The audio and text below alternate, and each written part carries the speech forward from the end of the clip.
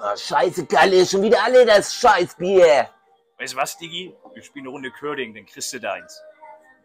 Wie soll denn das denn gehen? Ich zeig dir jetzt mal, wie das geht.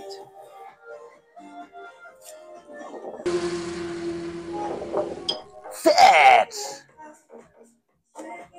Danke, Kalle.